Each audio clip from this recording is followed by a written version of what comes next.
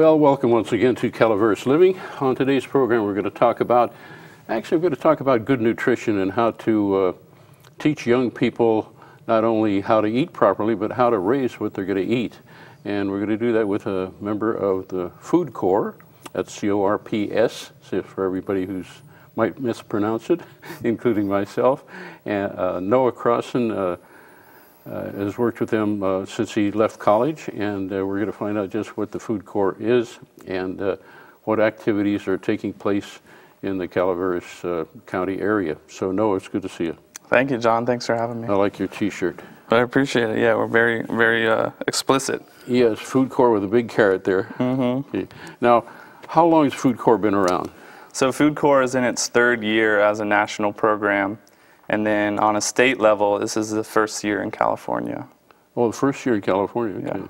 So it is, is it for profit, nonprofit? It's a uh, independent nonprofit national organization.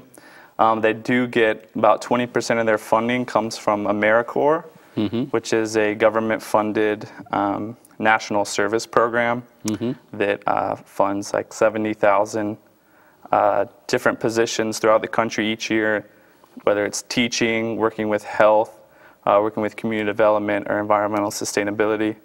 And as the kind of focus has shifted towards nutrition and childhood obesity, Food Corps kind of came around as the um, as a sort of health sector of public service. Okay. Now, how did you, at such a young age, how did you uh, decide that this is what you want to do in your early life?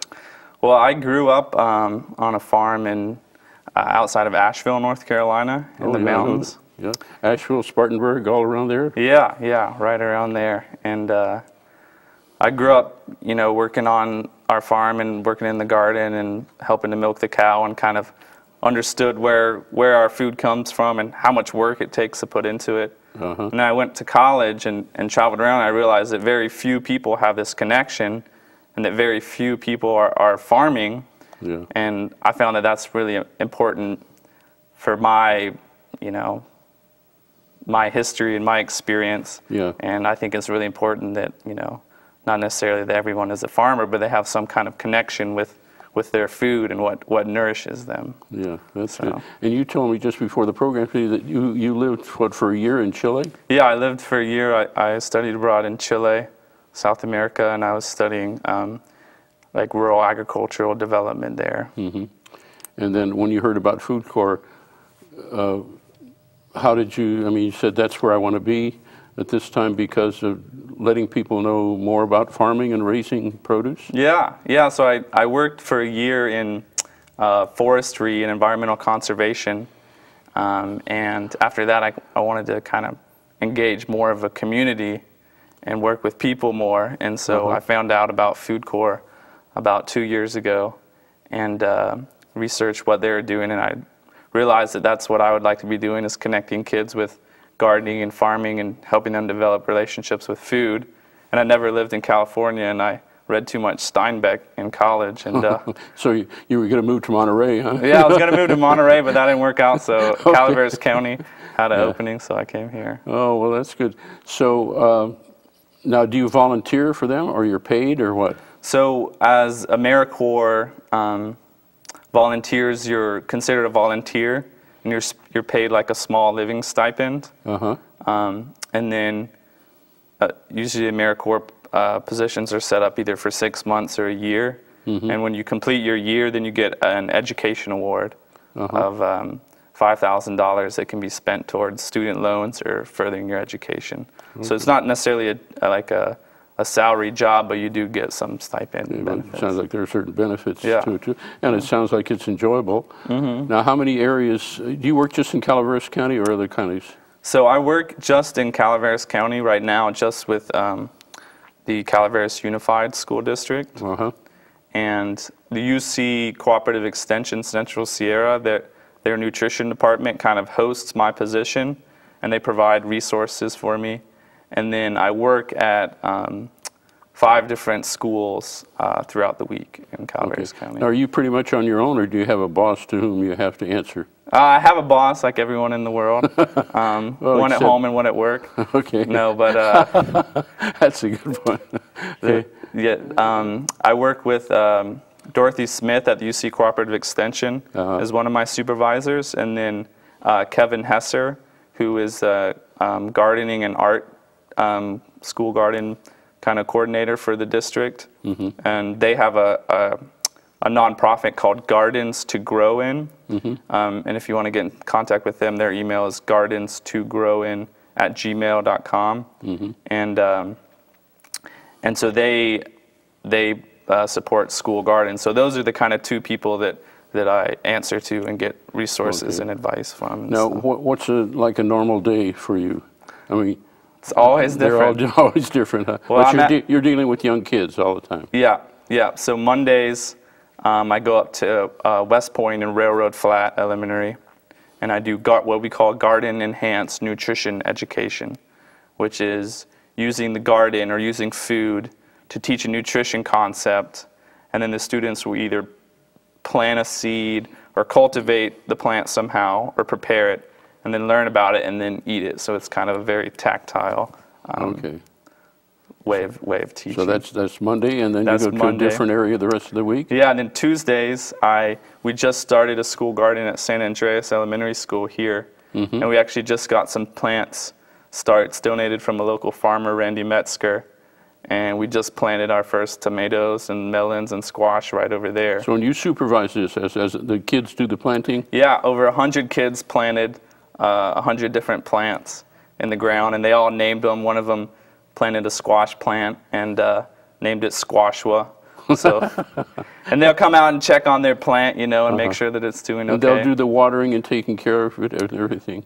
Luckily, most of the uh, watering at the schools is through drip irrigation. Oh, okay. In the winter, you have to hand water, but um, we have a a, uh, uh, a, um, a connection with um, Toro, and they donate kind of extra surplus stuff Oh, to the good. school gardens. So uh, fertilizer and things. And, Not fertilizer, but the drip irrigation, so that way, you know, when everything everyone goes away for the summer, the school gardens can still get watered, you know, so it's Okay, not good. dependent on someone coming every day. then where do you go on Wednesdays? So Wednesdays and Fridays, I'm at Valley Springs uh, Elementary School, and they have um, an amazing school garden. It's sort of a demo garden for the area, and um, if you haven't checked it out, you can go. It's right um, behind the school, adjacent to the park, and behind the Veterans Hall.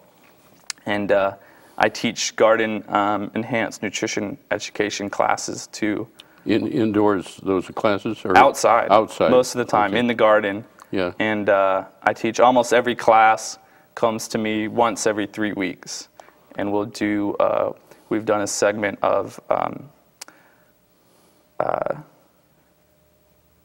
a couple different curriculums based on like nutrition and nutrients, and then based on gardening and kind of mixing the two. Okay. Um, no, we didn't hit Thursday. And then Thursday is a pretty exciting. I'm at Toyon Middle School. yeah, I hear they have a nice garden up there. They have a nice garden. They had a garden for about five years. and we recently just opened up the home economics room that hasn't been used in about five years. And we cleaned it all up and scrubbed it down. And now we're cooking in there um, once a week with three different classes. We're cooking local, local vegetables from um, seasonal vegetables and then vegetables that we're growing in our garden. Okay, and then Um, the kids eat these for lunch or what? Well, they eat them for, they get a snack and they eat them Uh-huh. as snacks. So last week we made uh, guacamole. Oh, And so they oh, use onions from the um, school garden. and you got avocado. We got avocados supplied through the cooperative extension, and then they they'll mix it up, and then they'll taste it, and they'll rate it and describe it, and then at break we'll take it out to the other kids. That, um, when they're kind of in a recess period, Yeah. and they'll all get to taste it a little bit. Oh, So that's good. get a little bit more exposure to the school. Now, do you have way. quite a bit of freedom in how the program's set up yourself? Yeah, so this is the first year in California, and um, each food corps member is at a different site. Some of them are working at school districts, and some of them are working at community centers and through 4-H programs.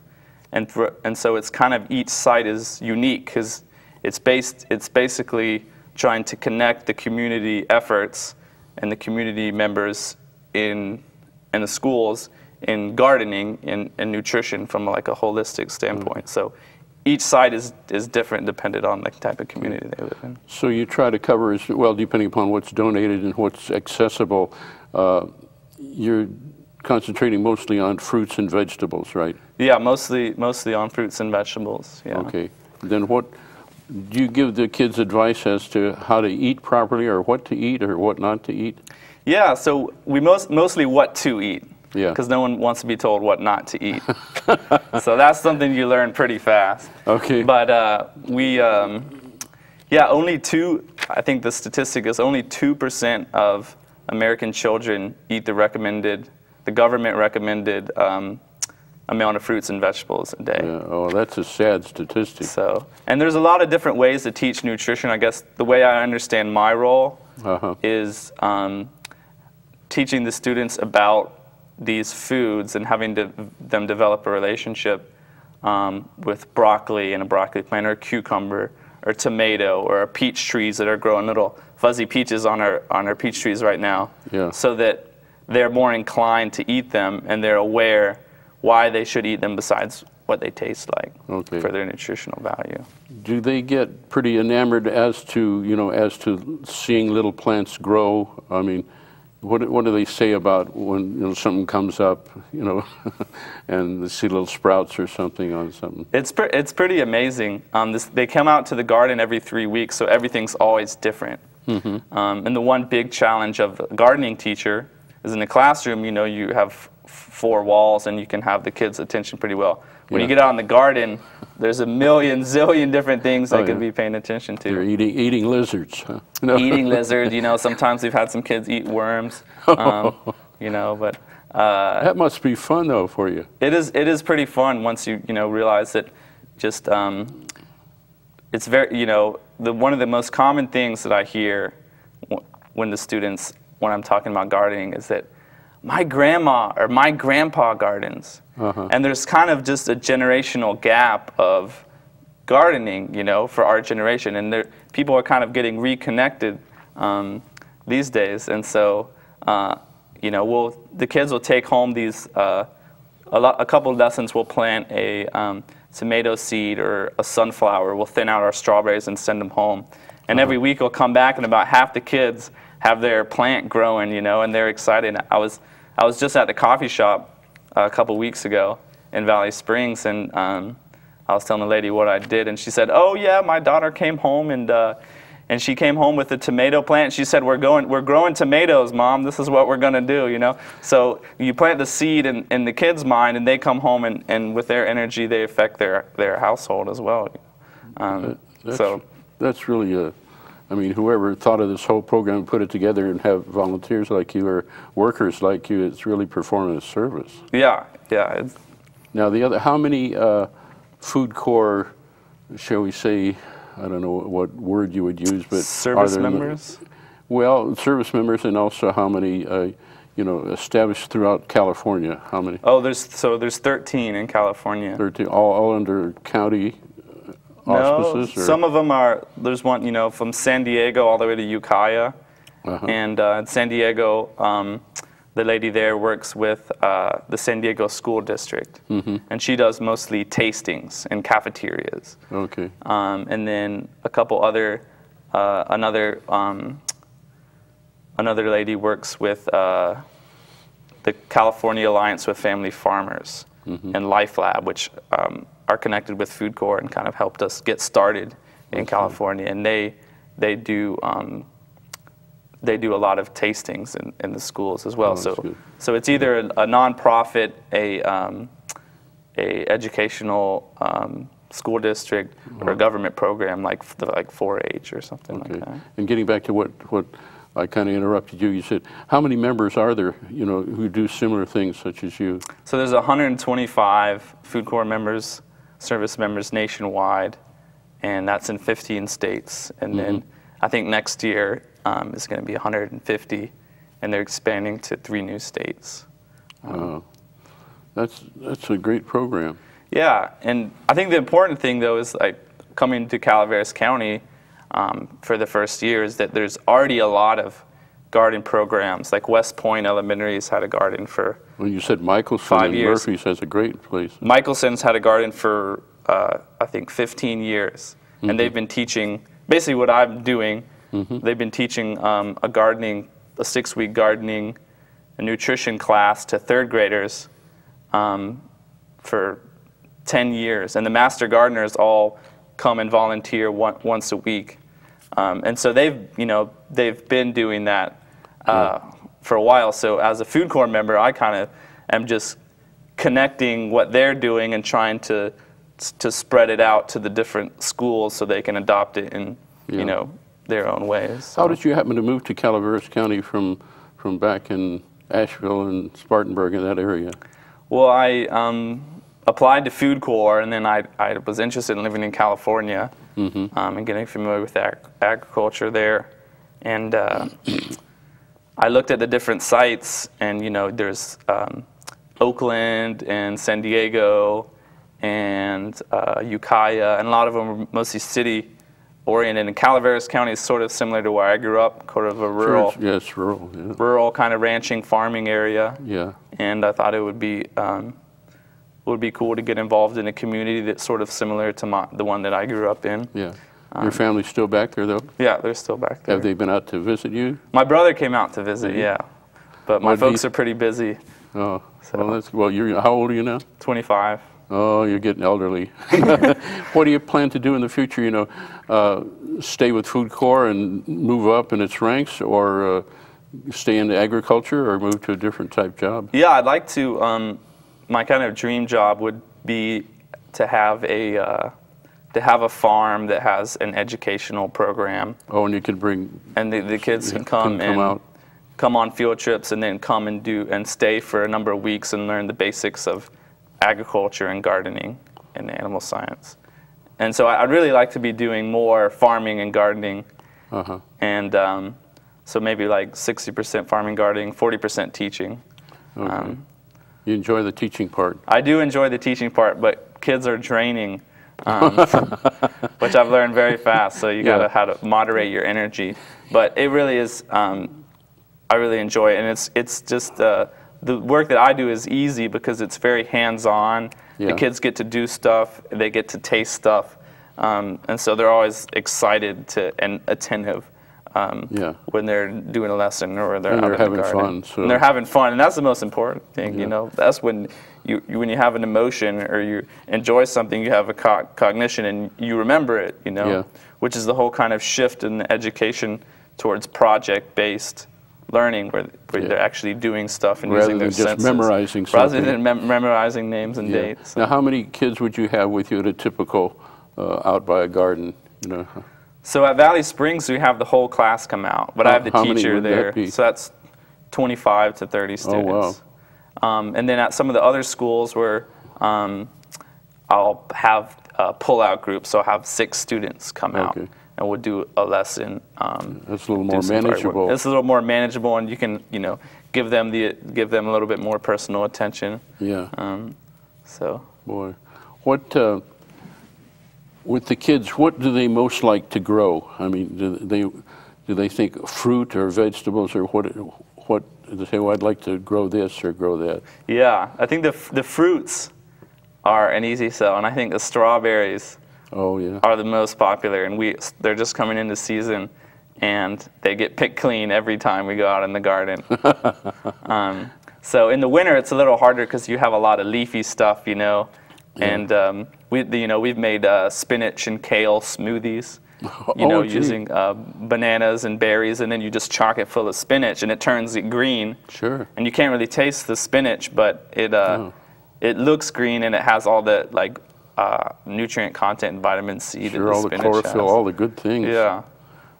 So you have the facilities there, like a blender, and I mean anything you need to do things like that at the schools. Yeah, so the at Valley Springs they have a really supportive administration. Their principal Dan Clement um, has been very supportive, and then with the Gardens to Grow in nonprofit, they've been able to um, get grants and stuff for blenders and cookware, and we just put an outdoor kitchen out in the garden. Um, so yeah, the, the the the resources are there, and the thing that is um, is the, the getting the community the community involvement and letting Yeah. the letting the teachers and the kids know, and you know the parents know that this the garden is kind of a place for them. Yeah. And as we move forward with Food Corps, one of the big goals is to work with teachers to develop lessons that use the garden as kind of like a laboratory. Yeah. Um, so they can teach their math lesson or their science lesson and have like a hands-on demonstration, or whether it's growth rate, or whether it's you know putting a celery stalk in uh, food coloring like we were doing today and seeing the food coloring go up the veins of the celery stalk. Or you can see that right away. Yeah, yeah. You have to get a pretty I white better, piece. I of better come to your class. Uh, so you, you actually, what are you, food coloring? Yeah. And it will go up fairly r- rapidly? Yeah, so you have to get a, like a white piece of celery because we tried it with our celery from the garden, but it was too green and hardy. And you put it in some concentrated food coloring, and it travels up uh, the the stem, and that's kind of was our lesson today. Actually, was Yeah. stems and leaves, and you know what function they serve, and learning about photosynthesis. Where do you learn these things yourself? I mean, did you learn it back in the farm back east? I or- learn it usually the night before.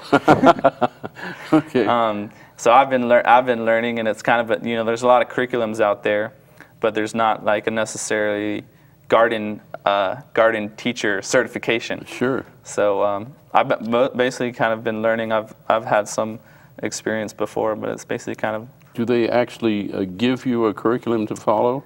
yeah. So there's a number of curriculums that I've that that are available. There's ag in the classroom. Um, there's uh, a Life Lab has a, a gardening curriculum. Um, there's a gardening curriculum through the cooperative extension, and I kind of pull I'll pull lessons from each one because I think the most unique thing is having a garden to use, and so we'll kind of orient the lesson on what's happening in the garden, Yeah. and then and then teach that whatever nutrition concept is applicable for that. Now, are the, are the kids in any way, from an academic standpoint, are they tested on anything later? I mean, do the teachers do anything to, what did you learn there, or, or is they just learn what they, from you, what they do in the class outdoors? Yeah, so right now there's no there's no testing, and sometimes I've been able to supplement a lesson that the student that the teachers are doing with something that I, whether whether it's um, on geology or, or decomposition. Um, but right now there's no testing. It's basically the the project is to you know combat um, you know malnutrition and obesity. You know, um, I think one in one in four young Americans is too overweight to join the army. Um, oh, wow. So um, right now, you know, the main push is from like a, an obesity and health related um, platform to, you know, get the kids eating healthy because really there's no not much nutrition education Yeah. in schools. I think most Oh, very little. less Yeah. than three hours like a year that the students receive. So It's and the almost- cooperative extension It's almost as little as doctors get in medical school. That's right. Do you, do you talk to the kids about things like obesity and, uh, I mean, of course you might have a chubby kid or something, you have to be tactful. Yeah. But uh, do you tell them how, how, what they eat relates to how healthy they are? Yeah, so we, you know, so we, I kind of have a, there's a saying that I adopted from somewhere, I think a curriculum, is that there's no uh, bad foods, just bad diets. So Oh, kind of focusing on what you can do instead of what you shouldn't, what you shouldn't do. Hmm. So we'll, we'll, um, you know, when we're teaching about uh, fruits and vegetables, some of the, some of the uh, lessons are, you know, to pr- disease prevention. That you can, um, you know, studies have linked that the more fruits and vegetables you eat, the less likely you ever you are to develop um, uh, obesity-related diseases as well as um, cancer and some other sicknesses. So, letting them know that, that, that these are positive things that you can do rather than if you drink soda and eat chips, you know, you're going to be obese and kind of steering, steering folks, steering the kids towards active things they can do. Because I think there's something when you, when you tell a kid, especially, that not to do something, something in their brain kind of turns off, you know. Says, I'm going to do that. So you know, when Yeah. the students come into class, I used to be like, "Don't talk, you know, don't sit."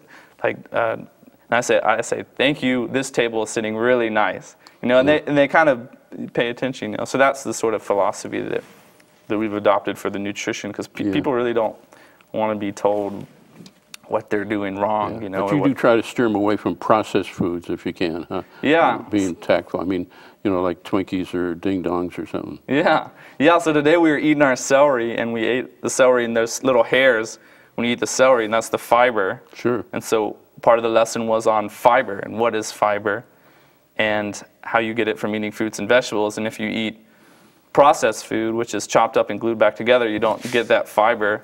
So then you have can have poor intestinal health. You know. So Well, that was one good. of the lessons that we Okay. did. Well, in the remaining time we have, is there anything we haven't covered about what you do or about the food corps in general Um, that comes to your mind?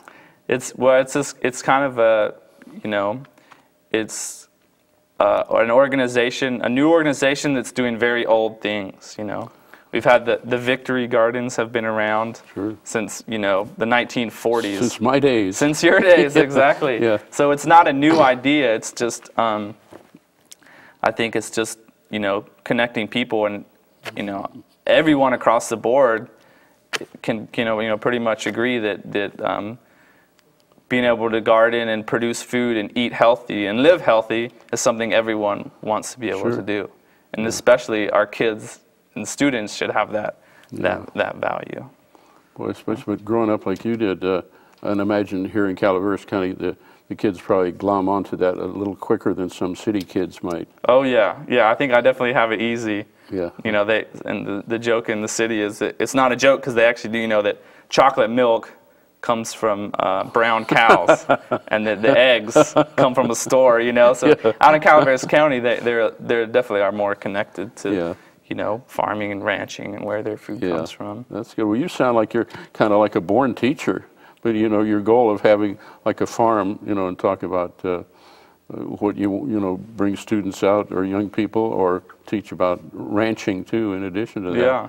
you're really cut out for that. Well, I, I hope so. That's the goal. One day, I got to make a little money first to get my farm going.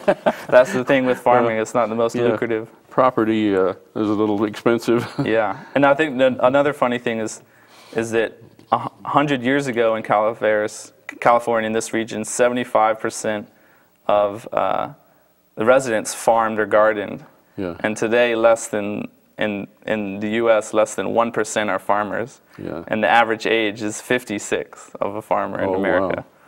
Those are interesting. So I'm trying to pull that statistic down. That's good. well, you're, my goal. you're doing your part. But it's good to see you, Noah. Yeah, you as And I wish you well in your work. Thank and, you. And getting that, your eventual goal. Thank you. But, uh, and also, is, is food corps, is it in the phone book? It's not in the phone book, but I think that my email address Okay. pops up, and uh, you can Google it at food, or it's online at foodcorps, F O O D C O R P S dot org, and they have more information. And there's, there's a number, and there's your, uh, your uh, website. Yeah. Hey, good to see you. yeah, thanks for having me on the show. Oh, my pleasure. And I hope you enjoyed. th- This is great information today, and it really helps the kids and helps our the country's future too. So we'll see you next time on Calaveras Living.